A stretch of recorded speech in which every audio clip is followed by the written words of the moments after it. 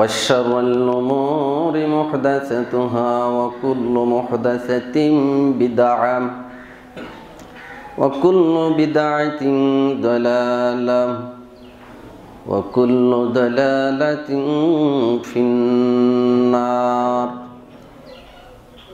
أما بعد فأعوذ بالله من الشيطان الرجيم.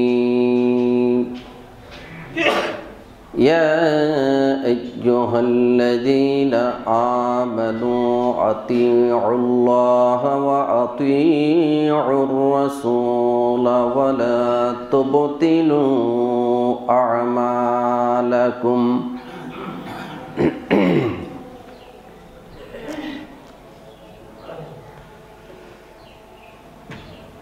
সমস্ত প্রশংসা ও তারিফ শ্রী মহান আল্লাহ সুবাহ তালার মহান দরবারে, যে আল্লাহ রব্বুল আলমিনের অসংখ্য গণিত মেহেরবানিতে সুদীর্ঘ একটি সপ্তাহ পর এই সৈয়দুল আয়াম তথা জুমাবারে জুমার খুদ্া শ্রবণ এবং সলাহ আদায়ের লক্ষ্যে আমাদেরকে এই মসজিদে আসার তৌফিক দিয়েছেন। এই জন্য শুক্রিয়া মহান মাহবুদের দরবারে আদায় করছি, আলহামদুলিল্লাহ। অসংখ্য গণিত দুরুদ ও শান্তির ধারা বর্ষিত হোক। আমাদের শেষ নবী সৈয়দুল মোরসালিন, খতামুন নবীন, নবী মোহাম্মদুর রসুল্লাহ সাল্লাহ আলহি ওয়াসাল্লামের উপর। আল্লাহুম্মা সাল্লি আলাই, আল্লাহুম্মা বারিক আলাই, আল্লাহুম্মা আমিন। সম্মানিত মুসল্লিবিন্দু, আজকের জুমার খুদ্বার সংক্ষিপ্ত বিষয় হবে সুন্না অবমাননার পরিণাম। উল্লেখিত বিষয়ের ওপর এক গুরুত্বপূর্ণ তথ্যবহুল আলোচনা পেশ করার চেষ্টা করব। ইনসা আল্লাহ ওমা তৌফিকি ইল্লা বিল্লাহ।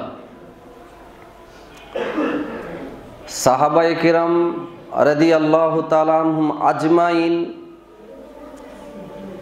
জীবনের প্রতিটি ক্ষেত্রে, প্রতিটি মুহূর্তে, জীবনের পরতে পরতে রসুল্লাহ সাল্লাহ আলী ওয়াসাল্লামের সন্না মোতাবেক জীবনটাকে সাজিয়েছিলেন।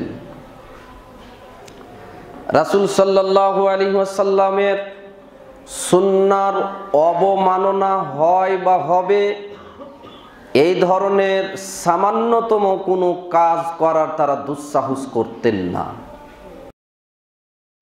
অবমাননা করলে বা অবমাননা হলে তার কি ভয়াবহ পরিণাম রয়েছে? কি শাস্তি রয়েছে এটা তাদের পরিষ্কারভাবে জানা ছিল। আল্লাহ সুবাহ সন্না অবমাননাকারীর শাস্তির কথা, পরিণামের কথা গোটা কোরআন জুড়ে বহু জায়গায় উল্লেখ করেছেন অত্যন্ত কঠোর ভাষায়। তন্মধ্যে একটি আয়াত যা আমি খুদ্বার আলোকে পড়েছি। সুরা মুহাম্মাদের তেত্রিশ নম্বর আয়াত। আল্লাহ সুবাহ বলছেন আমানু, হে ইমানদারগণ আতিউল্লাহ, তোমরা আনুগত্য করো আল্লাহর। ও আতিউর রসুলা, তোমরা আনুগত্য করো রসুলের। ওয়ালা তুবুতিলু আমালাকুম আর তোমরা তোমাদের আমলগুলিকে নষ্ট করো না, ধ্বংস করো না। তার মানে আমাদের আমল আখলা কৃষ্টি কালচার, চলাফেরা সকল ক্ষেত্রে যদি রসুল্লাহ সাল্লাহ সাল্লামের সুন্না মোতাবেক, আদর্শ মোতাবেক না হয়, তাহলে আমাদের সেই এবাদাত সেই কাজটি ধ্বংসপ্রাপ্ত হবে, নষ্ট হয়ে যাবে, বাতিল হয়ে যাবে, এর কোনো ফলাফল আল্লাহ সোনা তালার কাছে পাওয়া যাবে না। তাহলে সন্না অবমাননাকারীর প্রথম পরিণাম হলো, এর সমস্ত কর্মই হলো বাতিল। যা করবে সেটাই বাতিল, আল্লাহ কবুল করবেন না। সন্না অবমাননাকারীর দ্বিতীয় ভয়াবহ পরিণাম আল্লাহ সুবানা তাআলা কোরআনে উল্লেখ করেছেন সুরা নিসার পঁয়ষট্টি নম্বর আয়াত। সেখানে তিনি পরিষ্কার বলেছেন রসুলের সন্না মোতাবেক যারা চলে না, তারা ইমানদার হতে পারেনি। গায়ের জোরে কেউ নিজেকে মোমেন পরিচয় দিতে পারে, মুসলিম দিতে পারে, এটা তার ব্যক্তিগত শক্তি। কিন্তু দালিলিক কালোকে দলিলের দৃষ্টিকোণ থেকে রাসুলের সন্ন্যার বিরোধিতা করে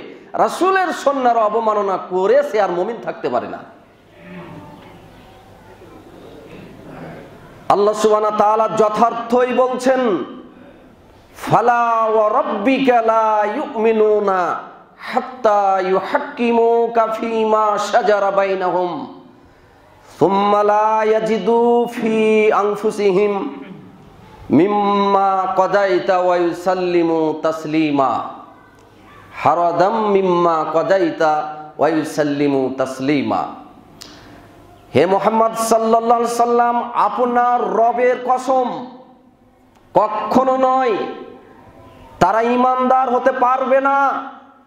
যতক্ষণ পর্যন্ত না তাদের মধ্যে বিবাদমান বিষয়ে আপনি মোহাম্মদ সাল্লা সাল্লাম আপনাকে বিচারক হিসাবে না মানতে পেরেছে। আর আপনি যে সিদ্ধান্তটা দেবেন, এই সিদ্ধান্তটা সর্বান্তকরণে বিনা বাধায় দ্বিধাহীন চিত্তে যতক্ষণ না মেনে নিতে পেরেছে। আপনার সিদ্ধান্তে যদি আবার প্রশ্ন তুলে যে না, এটা কেমন হলো? বা এটা আমার অনুকূলে হলো না। আল্লাহর কসম করে বলছি, আপনাকে প্রথম কথা বিচারক যদি না মানে সে মমিন হবে না। দ্বিতীয় কথা, বিচারক মেনে যদি আবার ফলাফল না মানে সেও মমিন হতে পারবে না। তার মানে কি? রসুল্লাহ সাল্লাহ সাল্লামের সন্নাকে যদি জীবনে মেনে নিতে না পারেন, আপনি গায়ের জোরে মমিন হতে পারেন, আদর্শিক জোরে মমিন নন। এটা আল্লাহ বলছেন, আপনি মমিন হতে পারেননি। তাহলে দ্বিতীয় ভয়াবহ পরিণাম হলো সন্না না মানার, যে আপনি মোমেন হিসেবে নিজেকে পরিচয় দিতে পারবেন না। আল্লাহর কাছে সেদিন আপনি ধরা খাবেন। তিন নম্বর সন্না অবমাননার ভয়াবহ পরিণামের তিন নম্বর বিষয়টি হলো যে আপনি সন্না অবমাননা করে যদি মারা যান, তাহলে আপনার ঠিকানা হবে জাহান্নাম। সন্না অবমাননা করে সন্ন্যার বিপরীতে জীবন গঠন করে, রাসুলের আদর্শের বিপরীতে জীবন গঠন করে যদি আপনি মারা যান, পরিণাম হবে জাহান্নাম। হয়তো আপনি দুনিয়াতে চলতে পারবেন। আপনি চলতে চান, আল্লাহ আপনাকে চালাবেন। কিন্তু পরকালে ভয়াবহ পরিণাম আপনার জন্য অপেক্ষা করছে। সুরানিসা একশো পনেরো নম্বর আয়াতে আল্লাহ যথার্থই বলছেন রাসূলা বাদি মা তাবায়্যানা লাহুল হুদা নুওয়াল্লিহি মা তাওয়াল্লা জাহান্নাম ওয়া সাত মাসীরা। কত সুন্দর কথা আল্লাহ বলছেন যে যারা রাসূলুল্লাহ সাল্লাল্লাহু সাল্লামের বিরোধিতা করে, বিপরীতে চলে, হেদায়াতের রাস্তা তাদের জন্য কোনটা সৎপথ এটা প্রকাশিত হয়ে যাওয়ার পরেও কোনটা সুন্নার কোনটা বিদাত এটা স্পষ্ট হয়ে যাওয়ার পরেও কি রাসুলের সন্না? আমরা জানি না কোনগুলি সন্না। অনেকগুলি না জানলেও তো অনেকগুলি জানি। যেগুলি পরোয়া করি না, মানি না। মুখে দাড়ি লম্বা করে রাখতে হবে। রাসুলের আদর্শ, রাসুলের এটা সন্না, এটা আমরা জানি না। জানি। টাকনুর ওপরে পোশাক পরতে হবে। এটা রাসুলের আদর্শ, এটা আমরা জানি না। জানি। অনেকগুলি জানি অনেকগুলি জানি না। তো আল্লাহ বলছেন, তাদের কাছে সৎপথ সুন্নাতের রাস্তা প্রকাশিত হয়ে যাওয়ার পরেও যারা রাসুলের সন্নাকে মানতে পারেনি, বিরোধিতা করেছে। আর মুমিনদের রাস্তার উল্টা রাস্তা চলেছে। মুমিনদের রাস্তা মানে আনহুম, তারা যে পথে চলেছেন, রাসূলকে যেভাবে ফলো করেছেন, সাহাবায়ে কেরামদের রাস্তা ত্যাগ করে ভিন্ন রাস্তা ধরেছে। তাহলে আল্লাহ বলছেন নুয়াল্লিহি মা তাওয়াল্লাহ। তাহলে আমি তাকে ফিরিয়ে দিব যেদিকে সে চলতে চায়। যেদিকে সে ফিরতে চান ফিরিয়ে দিব। আপনি চলতে চান রসুলের সন্ন্যার বিরোধিতা করে, আপনি চলেন, আপনাকে আল্লাহ রাস্তা খুলে দিবেন, চলেন। আপনি যেদিকে চলতে চাচ্ছেন, চলেন। কিন্তু পরিণাম কি? অনুসলিহি জাহান্নাম। পরিণাম হলো যে আপনাকে আল্লাহ বলছেন, আমি তাকে জাহান্নামে প্রবেশ করাবো। অসাত মাসিরা। আর আবাসস্থল হিসাবে থাকার জায়গা হিসাবে জায়গা কতই না নিকৃষ্ট এবং মন্দ জায়গা। থাকার জায়গা হিসাবে জাহান নাম খুবই মন্দ জায়গা। এই মন্দ জায়গাতে আমি তাকে ঢুকাবো। যে সাহাবাইক রামদের রাস্তার বিরোধিতা করে চলেছে, রাসুলের সন্না স্পষ্ট হওয়ার পর গ্রহণ করতে পারেনি, এটার বিরোধিতা করেছে, তাকে ওই নিকৃষ্ট জায়গায় আমি ঢুকাবো। কাজে সন্না অবমাননাকারীর পরিণাম হচ্ছে জাহান্নাম। এটা পরিষ্কার ফাইসালা। সুন্নাতের রাস্তা ধরবেন, নাকি আত্মার পূজারি হয়ে সমাজে মন মতো জীবনযাপন করবেন? নাকি বেইদিনদের তরিকা বেইদিনদের নীতি বেইদিনদের সংবিধান মেনে সমাজে চলবেন, রাস্তা ক্লিয়ার করেন, পরিষ্কার করেন। মুনাফেকের মতো সমাজে গোল আলু হয়ে মধ্যখানে থাকিয়েন না এইদিকে আর এইদিকে তালগোল পাকা কথা বলিয়েন না। পরিষ্কার হয়ে যান, হয় ডানপন্থী রাসুলের সন্না মেনে নেন, জীবনের সর্বক্ষেত্রে দিয়ে চলেন, আর না হয় বামপন্থী হয়ে যান, রাসুলের পুরোপুরি এন্ট্রি হয়ে যান। রাস্তাকে ক্লিয়ার করেন পরিষ্কার রাস্তা, রাসুলের আদর্শের রাস্তা বেইদিনদের রাস্তা পরিষ্কার রাস্তা, এখানে কোনো ভেজাল নাই। অতএব যেহেতু নির্ভেজাল দিন, অভ্রান্ত দিন, কাজী দিনকে সেভাবে হয় গ্রহণ করুন, আর না হলে বুঝে শুনে প্রত্যাখ্যান করে আবু জেহেলের দলে যোগ দেন। কাজে সন্না অবমাননাকারীর তৃতীয় পরিণাম হলো, সন্না অবমাননাকারী যাবে জাহাজ